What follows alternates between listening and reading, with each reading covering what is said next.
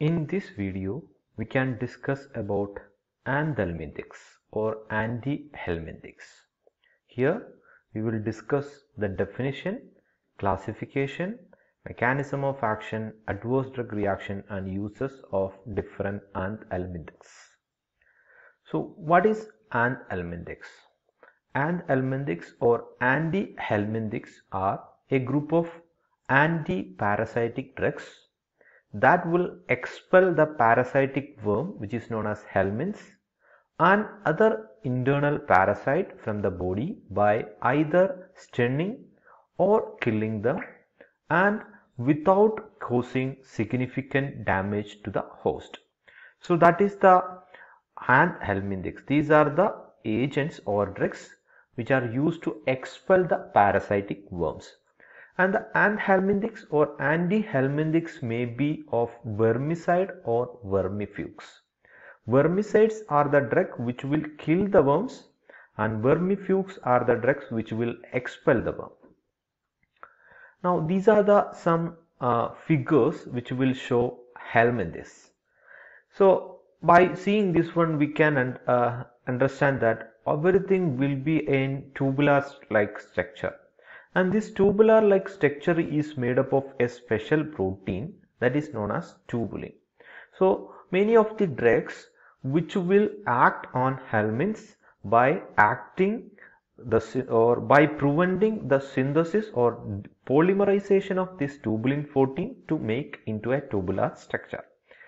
So now coming to the classification of anthelminthics or anti-helminthics the different drugs which are used for the treatment or expelling of helminths are mebendazole, albendazole, pyrantel palmitoate, praziquantel, diethyl carbamazine citrate, levamisole, tetramizole, niclosamide and ivermectin.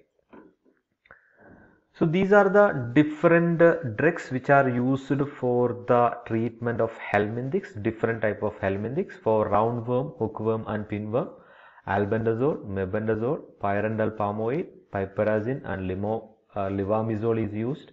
For the treatment of or for the expelling of threadworm, ivermectin and albendazole is used. For whipworm, albendazole mebendazole is used. For the treatment of filariasis, diethyl carbamazine and ivermectin and albendazole is used. For expelling of tapeworm, praziquantel, niclosamide and albendazole can be used. For, for hydatid, hydatid disease, albendazole and mebendazole can be used. Now coming to the first drugs which is used as an anthelminthic drug is mebendazole. And the, coming to the mechanism of action, as we mentioned before, the tubulin or tubular like structure of helminthics are made up of a microtubular protein that is known as tubulin. So this mebendazole and albendazole will bind with the microtubular protein or beta tubulin of susceptible worm with higher affinity. Thereby it will inhibit its polymerization in parasites. Thereby it will kill or uh, it will kill the uh, different helminths. And this is a broad spectrum hand anthelminthics we can use for different types of worms. So this is the mechanism of action. This albendazole will bind with the tubulin dimers and it will prevent the polymerization into tubular like structure. structure.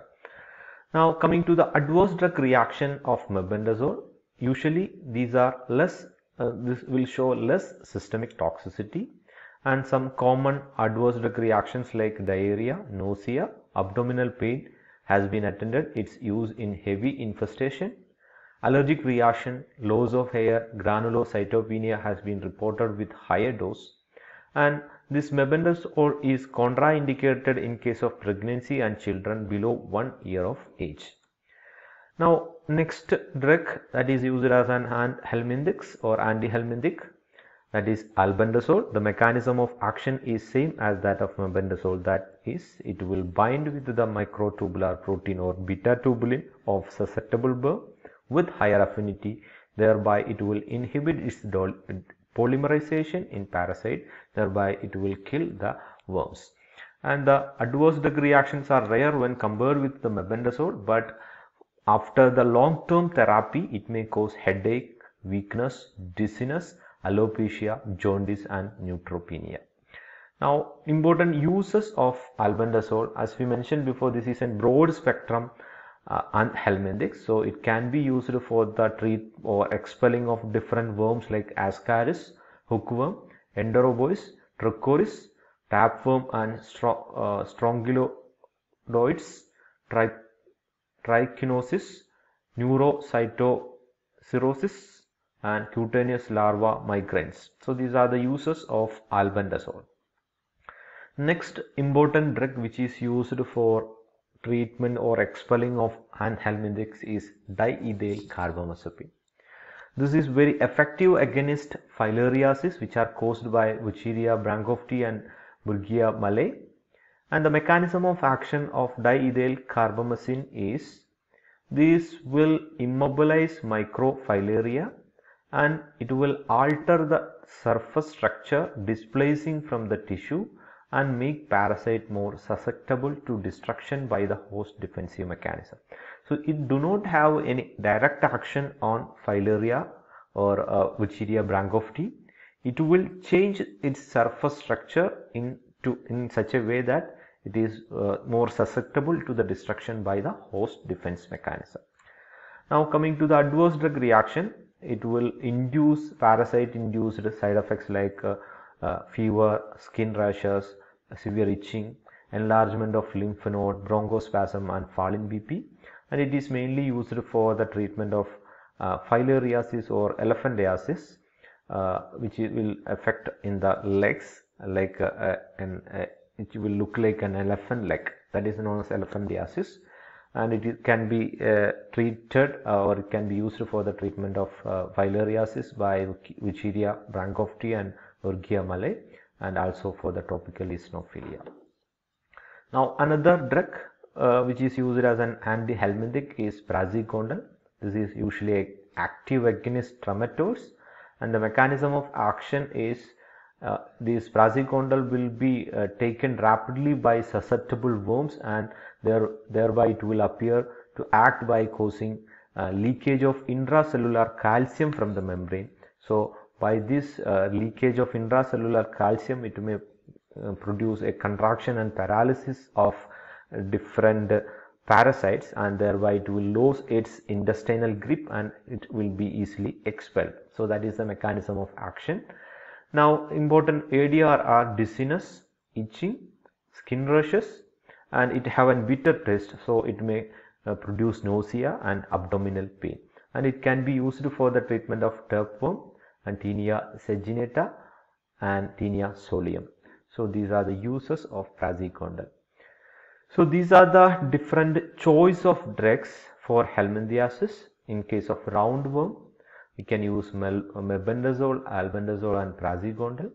In case of hookworm, we can use mebendazole, albendazole and pyrantel and mebendazole, albendazole, pyrantel for Necator americanus uh, which is a type of hookworm.